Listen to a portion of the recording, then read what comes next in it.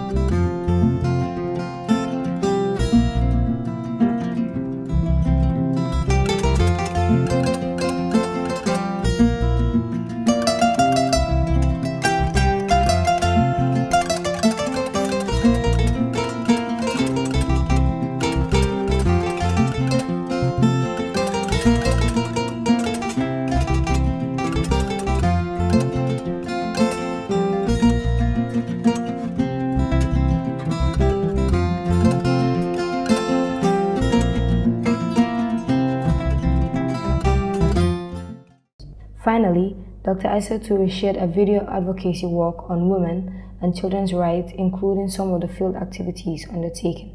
The American ambassador noted her pleasure in visiting the organization and expressed appreciation of the work done on women and children's rights in the Gambia. The visit ended with an interview where she highlighted the outcome of her visit. Uh, it's extremely important that Gambian women are empowered because once a woman is empowered, she is automatically going to empower her family, empower her community, and also contribute to the benefit, prosperity, and, and the power, empowerment of the country.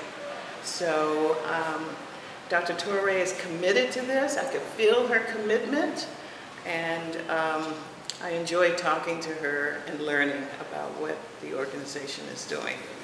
I am very pleased also to receive the Ambassador, Her Excellency, Ambassador Shannon Cromer, for visiting me. The purpose of our visit was that when I came, I wrote a letter to all the institutions informing them that I am back to my organization and I'm back to do what I am good at doing, advocacy to promote women and children's rights and also to move forward with the democracy and the issues that need to be addressed in the right towards the right direction.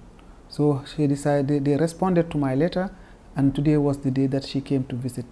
We had very constructive discussions and all the issues that we discussed were very useful because it's about promoting women's rights, children's rights, and also looking at how we can support, how we can move forward to support the fledgling democracy that Gambia has been able to create.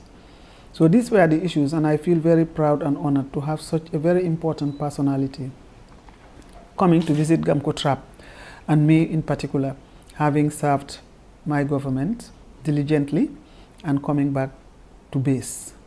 GAMCOTRAP is my base and we are coming to complete some of the unfinished businesses on the advocacy.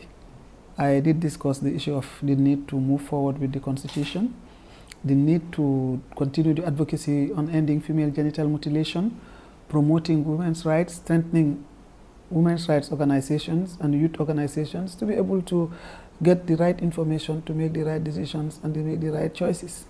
So it was a great day for me, and I look forward to a constructive engagement. Well, I just want to say thank you very much, Madam, for coming to see us at GAMCOTRAP and for being there, and we are grateful.